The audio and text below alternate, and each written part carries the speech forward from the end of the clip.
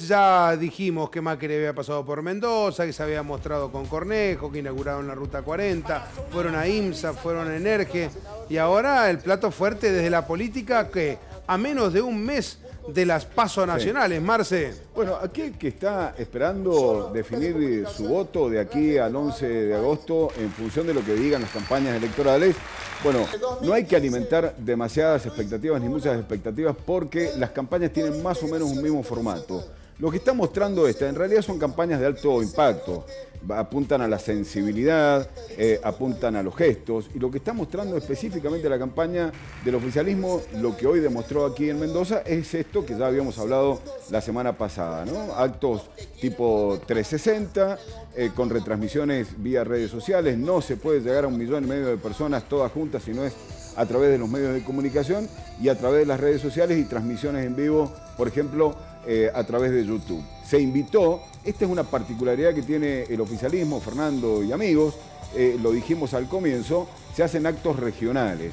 Entonces aquí en Mendoza se concentró eh, la campaña de San Juan y también la de San Luis. En realidad se invita a los funcionarios, en caso de que sea necesario, donde exista algún oficialismo, pero por sobre todas las cosas a los candidatos. Por eso, que vemos gente conocida, Marce, y gente que no, no enganchamos No tenemos ni idea. No tenemos ni idea quiénes son los que se sienten en primera Más, línea. en un momento Pichetto, que estuvo hablando 10 o 12 minutos, en un momento dijo, cuando habló el candidato de la provincia de San Luis, ni ellos tampoco saben.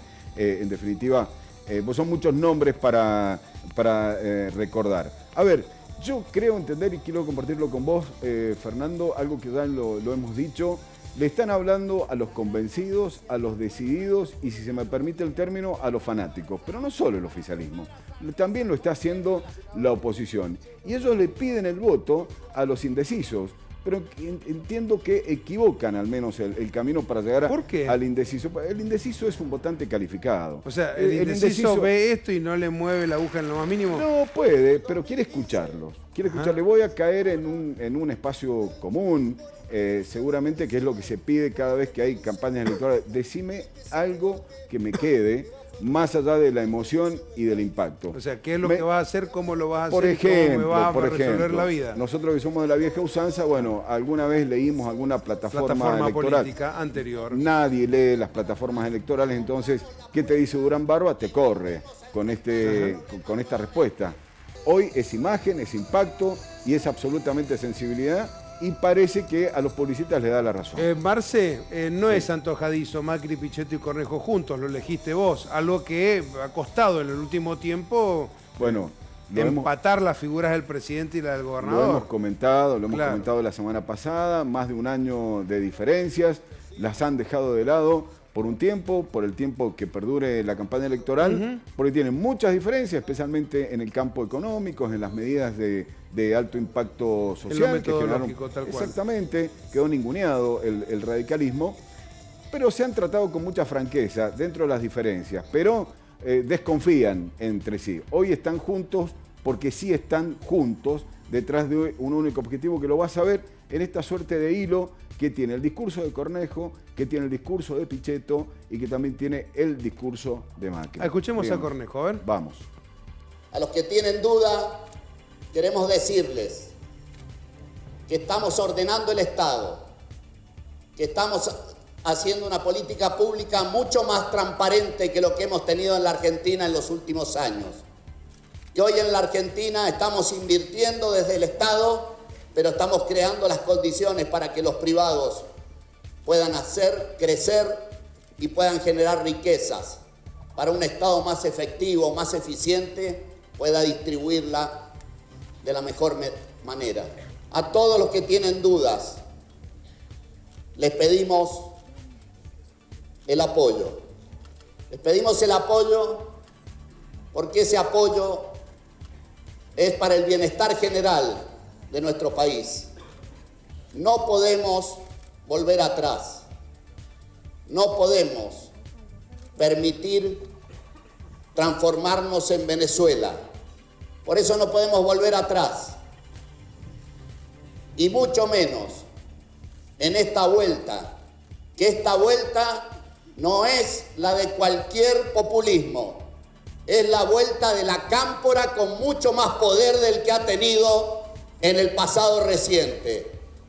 Es la vuelta de un grupo minoritario, autoritario, que le hizo daño a la Argentina y que apuesta a seguir haciendo lo mismo, el mismo proyecto de un país cerrado, de un país sin libertad. Volver para atrás es decadencia y es perder una oportunidad enorme. Por eso le pido a los mendocinos que nos apoyen en esta elección primaria abierta, simultánea y obligatoria, que apoyen a mi lista de diputados nacionales, pero que también apoyen al actual presidente del país, Mauricio Macri. Bien, eh, Cornejo al hueso. Al hueso. ¿Y Pichetto? Lo mismo hizo, lo mismo hizo Pichetto. En realidad cargó contra, contra la cámpora, pero por sobre todas las cosas reivindicó la figura de Macri y especialmente por haberlo elegido a él como su compañero de fórmula, porque él dijo representar a lo que es el peronismo republicano y democrático contra lo otro. Escucha. Es el presidente Macri el que me ha invitado a participar en esta propuesta de Juntos por el Cambio. Una propuesta que significa lo nuevo en la política argentina. Terminar con esa visión sectaria que expresa la estructura de la cámpora, con esa mirada ligada al pasado, a seguir viendo la Argentina con la lógica de los 70. Por primera vez la Argentina entra con la producción agropecuaria en Europa por primera vez la fruta, la vitivinicultura, la pera y la manzana de mi provincia van a ingresar con arancel cero a Europa. Está en discusión la consolidación de un modelo democrático, de consensos, de diálogo, de construcción democrática. Esto está en el primer debate, autoritarismo, democracia. Esta es una clara divisoria de aguas en este primer análisis de la discusión electoral, que el desafío a partir del segundo periodo del presidente Macri es el crecimiento y el empleo, el trabajo para los argentinos. Bueno, eh, ahí tiene serias dificultades el oficialismo para hablar del futuro sin explicar los problemas económicos que han atravesado prácticamente toda su gestión durante tres años y medio. De eso no se habla y se habla del terror hacia el pasado, en esta suerte de polarización. Y cierra Macri. Macri dice unas cuantas cosas también vinculadas a lo que ya había dicho Cornejo y el propio Pichetto y pide enfáticamente el voto para cruzar el río porque dice que estamos cerca de la otra orilla. Yo quiero ayudar a que los argentinos crucemos del otro lado del río definitivamente entrando en los 20 años de crecimiento más importantes de la historia de nuestra querida Argentina.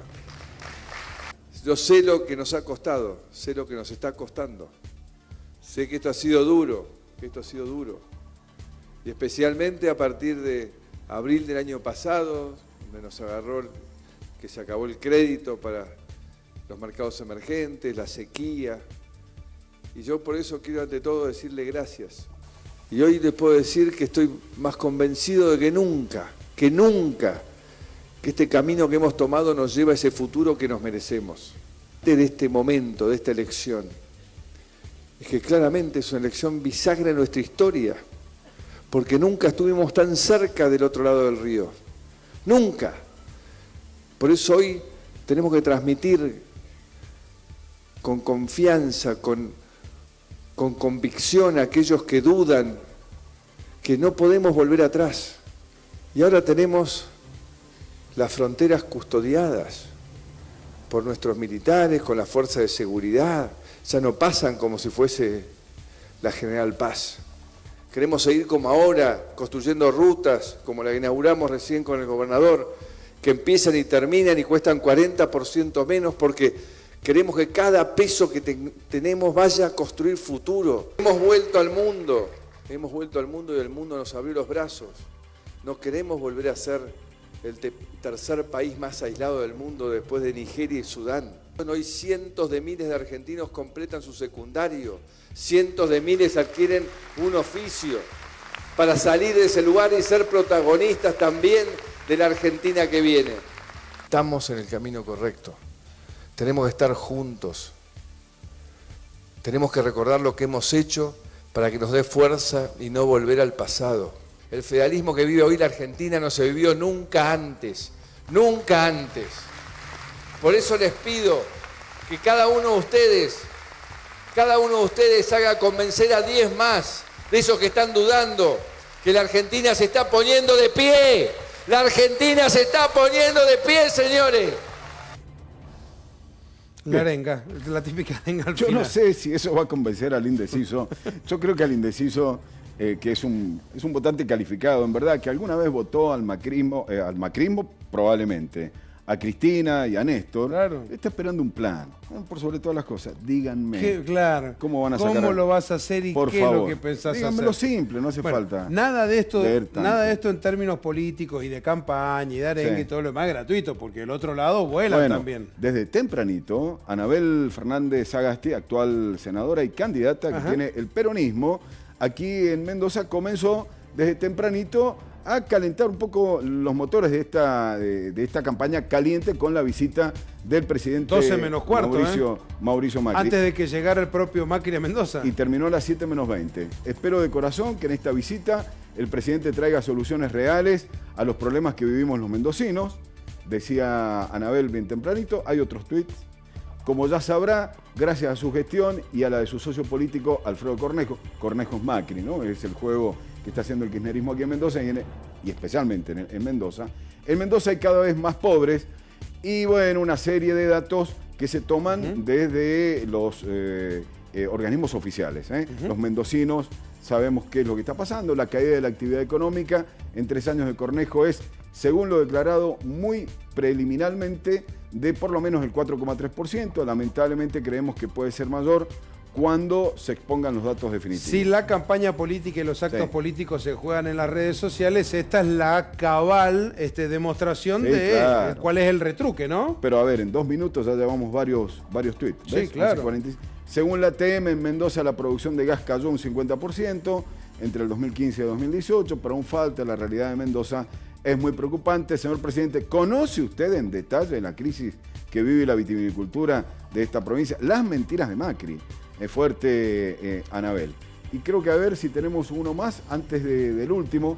Eh, espere, señor presidente, esto no termina acá. Además de hacernos vivir mal a los mendocinos y mendocinas, su socio Cornejo nos deja hiperendeudados. El peronismo está diciendo que endeudó ampliamente la provincia, eh, el oficialismo, cuando Cornejo dice que en dólares es mucho menos. Y ahora sí vamos a, a ver si tenemos uno más. No, sigue con los datos. Más- Cornejo es el gobernador que más endeudó a la provincia. Este es el último, quizás el más importante. A las 18.38, cuando ya terminaba la jornada política aquí en Mendoza, Anabel le responde directamente a Cornejo, lo arroba él, esa es la cuenta oficial del gobernador. Nadie quiere fantasmas y peleas, nuestra gente necesita tranquilidad y poder llegar a fin de mes. Y si buscamos ayudar en eso y, y damos el ejemplo, saludos. Esto es en respuesta de la CAM por el grupo minúsculo y demás. Es que ha endurecido la campaña, el oficialismo, tanto a nivel nacional y por supuesto a nivel provincial. En Mendoza podemos cerrar con esto. Los datos indican que para agosto la fórmula del el peronismo junto con el kirchnerismo está arriba de, de Macri. Y Cornejo quiere achicar esa distancia, se habría achicado. Los últimos días nadie sabe muy bien cómo va a terminar todo esto. Sí sabremos el 11 de agosto. Entonces hay que polarizar, hay que ahondar la grieta y de los indecisos, bueno, que Dios los ayude. Eh, ¿Eh? Señor, muchas Hasta gracias. eh, muchas gracias, Manuel.